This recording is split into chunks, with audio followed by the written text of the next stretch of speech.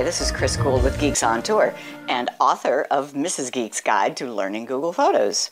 I want to show you how to scan QR codes because at several places in the book we use QR codes. That's these funny looking square things so that you can play tutorial videos. So how do you scan them? I'm going to use an Android phone and you have to have a scanning app. The one that I like is called QR Droid. I just tap on it and it might come right to the screen that scans, but I made sure that it doesn't so that I can show you. You can get to the scanning screen by tapping the little grid and then tap scan.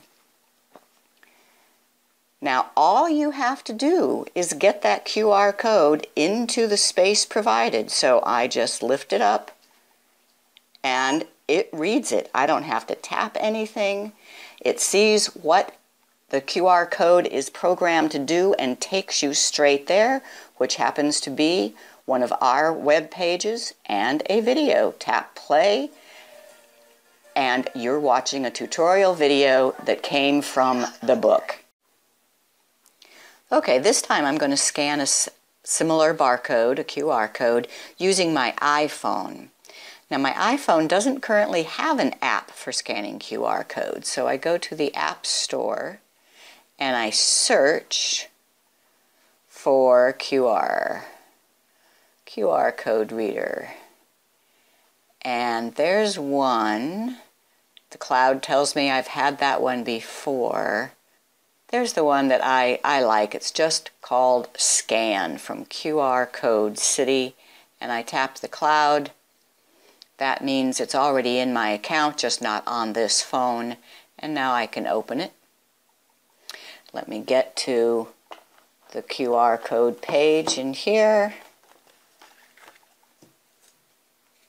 It says allow scan to access your location. Sure allow it to access the camera. Yeah, it can't do its job if you don't. And now you see the, the square. All I need to do is get the QR code in that square. And it does its thing, which is taking me to a video and playing it.